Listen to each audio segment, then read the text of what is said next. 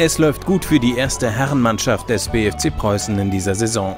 Auf Platz 2 der Tabelle und mit dem Aufstieg ein klar definiertes Ziel vor Augen. Doch der Verein beweist am kommenden Wochenende, dass er auch abseits des regulären Spielbetriebs Ausrufezeichen setzt.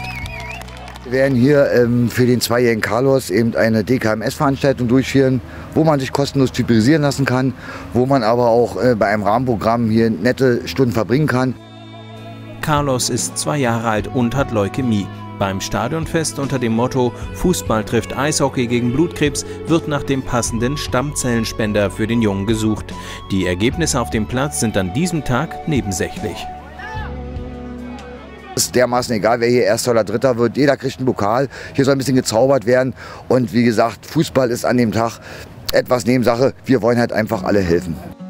Beim Kleinfeldturnier treten die Hans-Rosenthal 11, die Ü50 von Hertha BSC und eine BFC Preußen All-Stars-Mannschaft gegeneinander an. Zecke Neuendorf ist heute Teil des Trainerteams der ersten Herren vom BFC Preußen. Er unterstützt die Aktion und hofft, unabhängig vom Wetter, auf ein volles Stadion.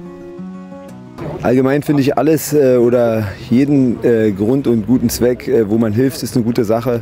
In diesem Fall äh, vom BFC Preußen mitorganisiert. Ähm, ja, also DKMS ähm, von Hertha BSC Seiten aus wird auch viel unterstützt. Und ich glaube, dass es einen guten Rahmen gibt für eine gute Sache. Alle Einnahmen des Stadionfests, zu dem auch der Eishockey-Regionalligist ECC Preußen erwartet wird, gehen zu 100 Prozent an die deutsche Knochenmarkspenderdatei. Im Mittelpunkt steht allerdings natürlich die Suche nach einem passenden Stammzellenspender für den kleinen Carlos.